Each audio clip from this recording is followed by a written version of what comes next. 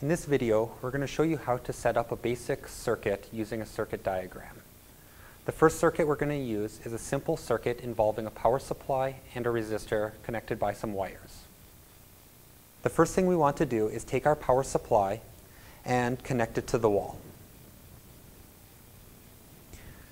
When we are sure that the power supply is connected properly, we can move on to the next step.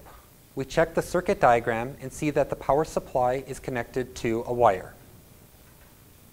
So we connect the positive terminal from the power supply to a wire. We take that wire and connect it to the resistor as the circuit diagram dictates. If we follow this, the loop around, we can see that the resistor is connected to a second wire. That second wire then is connected back to the negative terminal of the power supply. Go back to our circuit diagram and we'll just do a quick check. Power supply is connected to a wire. The wire is connected to the resistor. That resistor is connected to a second wire. And that wire is connected back to the power supply.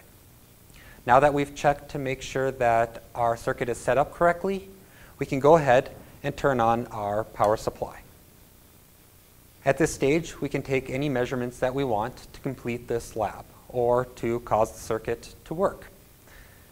When we're done taking all of our measurements, we can go ahead, turn the circuit off by turning the power supply off. Then we go ahead and disconnect all the wires from all the components, gather everything up, put it in our lab box, and return the lab box to the supply window.